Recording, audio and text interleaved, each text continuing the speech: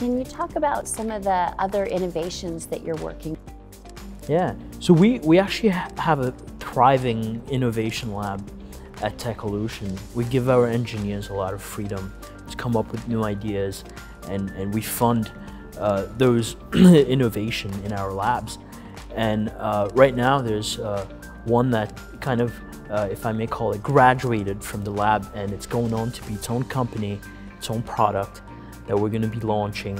Uh, it's called Face Open and perhaps you'll invite me back on the show to talk about that. Just uh, a high level glimpse of what it is is we, we're determined to change the human experience with doors and locks.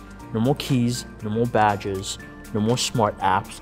It's completely touchless where your face and some really powerful AI that we built will open doors for you in the future.